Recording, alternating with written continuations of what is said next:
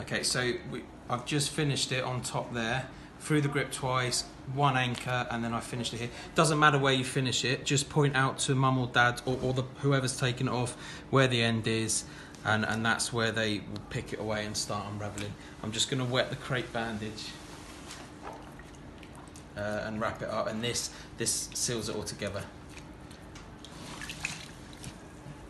If you don't put this on it, it's not properly laminated. It'll probably unravel on the way home. And you just need to, to give that about five minutes. And that, that will be, be done in five minutes. And then we just And can you mould it or not? Really? you can do, yeah, you can do if you if you want to give it a little mould.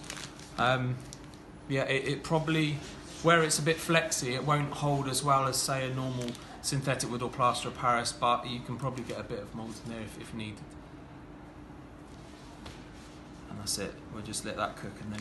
So that stays on. The crepe bandage stays on for five minutes, five minutes, and then then take it off. and then the uh, patient goes done. home in a sling Yeah. because it'll be sticky on yeah, clothes. Yeah, uh, it's the soft cast especially is really sticky and it, it doesn't come out of clothes. So we normally put, put a sling on, say for them to keep on for about 20 minutes, and they can take it off. It's purely just to protect the. Okay.